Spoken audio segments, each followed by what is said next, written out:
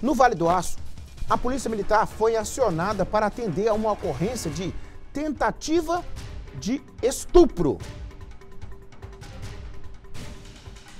Tá certo isso que está escrito aqui para mim, equipe? A tentativa de estupro foi contra uma criança de dois anos? Volta lá, deixa eu ler de novo. No Vale do Aço, é isso mesmo. A Polícia Militar foi acionada para atender uma ocorrência de tentativa de estupro a uma criança de dois anos.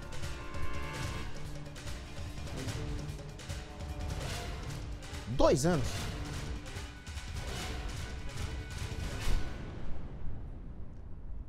O caso aconteceu no bairro Esperança, em Patinga.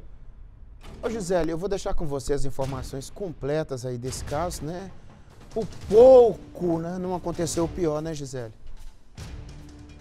Pois é, Nico, felizmente não aconteceu algo pior porque a testemunha chegou no imóvel e surpreendeu com uma cena. O homem estava com as calças abaixadas, segurando uma criança de dois anos. E quando ele viu essa testemunha, né, que presenciou toda a situação, ele fugiu do local e a polícia ainda está tentando localizá-lo. Agora, o que chama a atenção desta ocorrência, a gente tem que sempre falar isso, é o que acontece em quase todas as situações.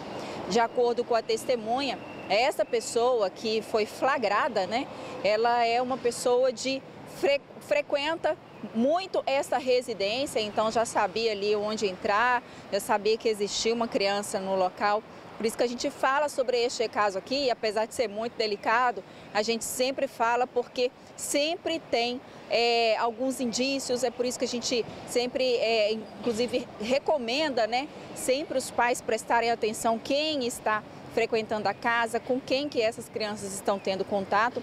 Neste caso aí foi por pouco, mas bem pouco mesmo, que não houve um registro de um estupro, ou um abuso mais grave. A polícia ainda continua é, no rastreamento na tentativa de encontrar este criminoso. Nico. É, Gisele, aí eu tenho que agradecer a Deus, né? O fato de ter levado essa criança e o fato de ter dado serenidade a quem presencia uma cena dessa. Porque é preciso muito controle ou autocontrole para você não fazer uma tragédia diante de uma cena dessa. Dois anos. A pergunta é para você de casa. Dois anos é a idade do meu neto. Dois anos e seis meses tem o Henrique. É, quantos anos tem seu neném lá? Cinco anos, sabe? Aí você imagina. Cinco anos ele já está indefeso, ainda é indefeso. Com dois anos. O que que uma criança de dois anos consegue discernir entre o bem e o mal? Ah, criança de dois anos, se você coloca comida para ela, quando ela come, ela queima a boca. Ela sabe discernir nem a temperatura da comida. Então, quando a Gisele faz essa observação, e eu respeito demais o trabalho dessa repórter, ela é fera no rádio, é fera na TV, e tem esse tato, né? Ainda fala numa pegada ainda como mulher, é aí que a gente presta mais atenção, né? Bastante cuidado, foi a fala da Gisele com quem, com quem frequenta o ambiente de casa.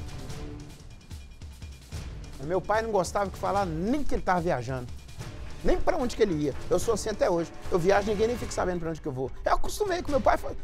Não fala que eu estou viajando. Cuidado com quem entra aqui. Cuidado com que você, em quem, quem você, com quem você anda. A pessoa está do seu lado, dando tapa nas suas costas, fala que, que amigo o quê, rapaz? Fazer uma maldade dessa contra uma criança de dois anos, dentro da casa da pessoa? Onde quer que seja, na escola também, né? Precisamos cuidar, gente, das nossas crianças. Pelé, quando fez o gol, o gol mil, ele falou isso.